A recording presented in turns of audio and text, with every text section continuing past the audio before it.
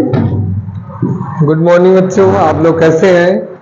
आप लोग बहुत अच्छे होंगे, है ना? क्योंकि पढ़ाई का दौर है और पढ़ाई को जितने अच्छे से करोगे, उतना ही बेस्ट होगा। क्यों? सही है कि नहीं? जब आप लोग पढ़ाई करोगे, क्यों मान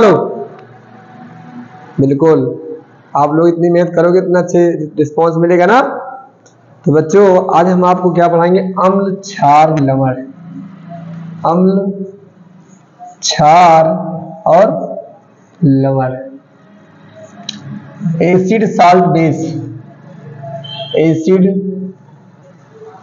acid base salt base salt ठीक है ना? एसिड साल्ट बेस तो बच्चों, अम्ल क्या होता है? अम्ल की बात करें तो अम्ल अम्ल जो स्वाद में क्या होता है? जो स्वाद में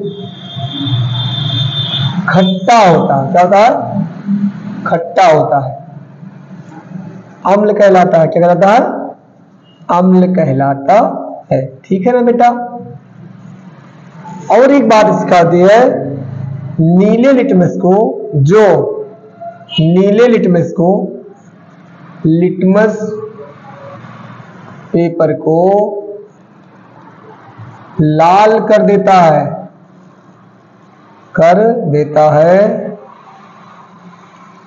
क्या कहता है? अम्ल कहलाता है। ठीक है? अम्ल कहलाता है। ठीक है ना? अब बेटा तो क्षार। जो स्वाद में कड़वा व कसैला हो क्षार कहलाता है।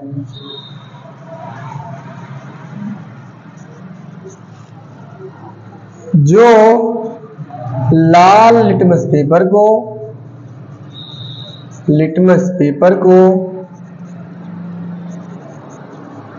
नीला कर देता है। क्या कहता है? नीला कर देता है। क्षार कहलाता है। कहता है। ये क्या होता है? क्षार। ये ओ एच आन देते ओ एच रेड आन देता है। ये क्या होता है? हाइड्रोजन धन आन देता है। अब आता लवण। लवण की बात करेंगे बच्चों। जिसमें अम्ल और क्षार दोनों होते हैं। जिसमें अम्ल और क्षार। क्षार दोनों होते हैं। होते हैं, क्या कहते हैं? लवर कहलाते हैं। जैसे नमक ठीक है ना बच्चों? तो आपने सीखा कि अम्ल छाल लवण क्या होता है। ठीक है ना? बहुत छोटा सा एग्ज़ाम्पल है। आप लोग छोटी सी परिभाषा याद रखेंगे तो बहुत बेस्ट होगा। और जब तक आप पढ़ाई नहीं करोगे तो कोई मतलब नहीं होगा बेटा, है ना? एक बात आप लोग जानते हो, जीवन जो होता है क्या होता जीवन, सबसे बड़ा, जीवन का सबसे बड़ा गुरु कौन होता? है वक्त। जीवन का सबसे बड़ा गुरु कौन होता है? वक्त होता है है ना?